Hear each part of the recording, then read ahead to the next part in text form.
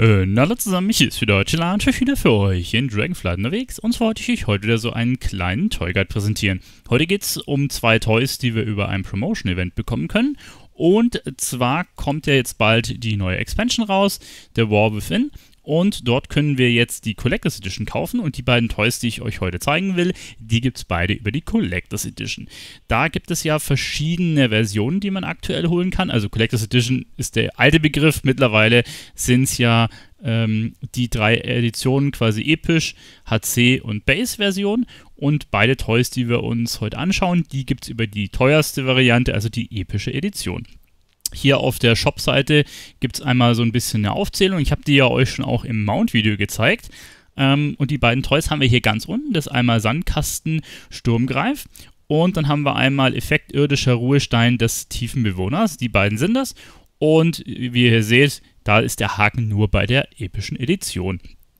Ähm, für die Base- und HC-Version gibt es natürlich auch alle möglichen anderen Sachen, aber wie gesagt, das habe ich euch im anderen Video schon gezeigt und da werden wir jetzt mal nicht mehr im Detail drauf eingehen. Hier haben wir einmal das Mount, was es ab der HC-Version gibt, auch das habe ich euch ja im anderen Video schon gezeigt. So, jetzt gucken wir uns einmal das Toy an, beziehungsweise die beiden. Wir haben hier einmal Sandkasten Sturmgreif, den können wir mal aufstellen. Der Effekt zum Aufstellen ist schon relativ cool und ihr seht, es sieht relativ ähnlich wie das Mount aus. Hier so ein bisschen Holz geschnitzt, schon ganz cool. Und ja, das ist quasi so ein kleines äh, äh, Spielplatzspielzeug hier, wo wir drauf reiten können. Es wippt auch ein bisschen mit. Wir haben auch drei Buttons. Das Problem ist, diese Buttons, naja, da ist aktuell nichts. Ich vermute, das wird von Blizzard noch nachgereicht oder das ist ein Bug. Ne? Ich würde es euch gerne zeigen, aber aktuell funktioniert es leider noch nicht.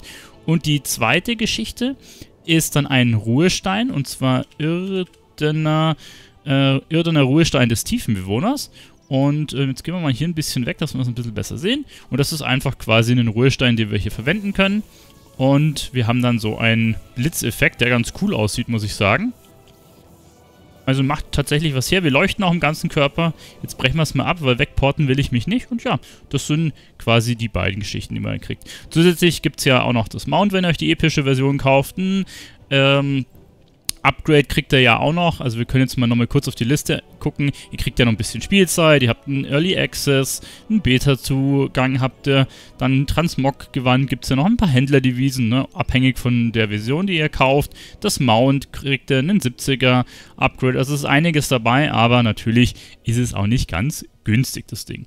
Yuji, das war's soweit mit dem kleinen Toy Guide. Hat mich gefreut, dass ihr dabei wart. Euer Tila, bis zum nächsten Mal. Ciao.